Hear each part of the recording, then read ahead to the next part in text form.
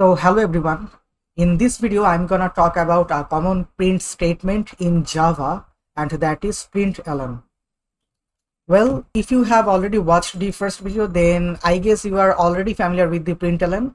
Now let me show you how that actually works.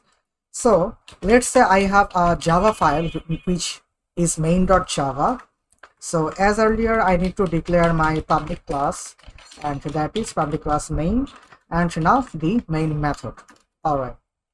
Now keep in mind whenever we want to print something in the console or you can say in the terminal i mean this or if you want you can open a cmd or terminal or shell and run your java code from there. I mean compile and run your java code from there. All right. So how the print function works. You have already noticed that whenever i wanted to print something earlier in those videos i used system.out.println and then I use a semicolon to specify the end of the print statement. All right. Now, this is the system. We are calling the system because we want to print something in the system. Or you can say, uh, how can I say this?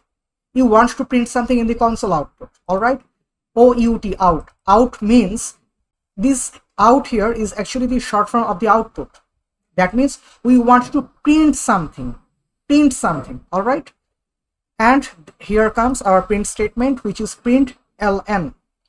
Now, the print statement is actually this print, but whenever we use print ln, that indicates that we want to print a new line after executing the string or you can see the statement inside of this print statement. Now let me show you how that actually works. Let's say in this print statement, I am printing my name, which is Fahim bin Amin. Cool. Now, if I simply run this code, I'm getting Fahim bin Amin.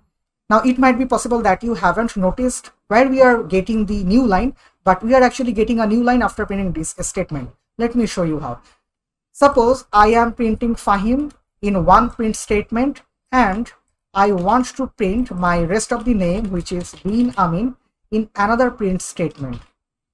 All right. Now, if I simply run this code again, you see that after printing the first statement, which is Fahim, I am printing the another statement, which is bin Amin in a different line, in a new line. After printing this statement, I am calling a new line, which is this line. And then in this new line, I am printing this statement. Then obviously, as I have already used ln here, I'm also getting a new line after this statement as well. All right. So now, if you are familiar with C or C++ language, then you might have seen this thing slash n. Slash n indicates the new line statement there. All right. In Java, whenever we call print ln, this ln indicates the new line. So, what is actually happening behind this scenario is that after executing this, we are also executing this slash n all right here we don't need to write slash n explicitly because ln already does this for us. All right so whenever we are using print ln we are executing this statement inside this print statement and after then we are calling a new line statement. So for that reason after printing this statement we are getting a new line and then after printing this statement we are getting another new line because we have used ln here as well. So in this way whenever I will use the println statement or you can say println function, I will get a new line after printing each statement inside one println statement. All right, or you can say println function. Let's say I am uh, saying this, I am starting. After executing this line, I will automatically get a new line. Why? Because I am using println. ln indicates new line. After executing this statement this string statement all right so let's say i'm gonna provide another string here i'm starting and i am at united international university. Now whenever i will run this code what will happen? You know that code execution process starts with the main method. So this is the main method. So the first line I am calling it to print this Fahim and then I am telling it to add a new line after printing this. So after printing Fahim, I am getting a new line. Then after printing Fahim, I am again getting a new line because I have specified ln. I have already specified each to add a new line after printing this statement. All right.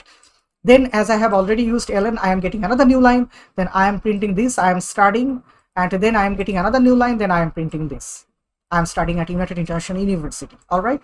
Now, if I don't use print ln, I won't get any new line after this.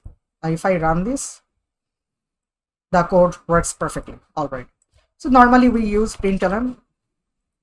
So I'm getting, I am studying at United International University. Now you might have noticed the new line after this, but keep in mind that we have a new line after this. You can get it like here. Now, whenever I am running this in this terminal, you might have not noticed the print statement, I mean the new line explicitly, but keep in mind that we obviously have a new line after printing this statement as well if we use ln here. All right? So that's how print ln function works.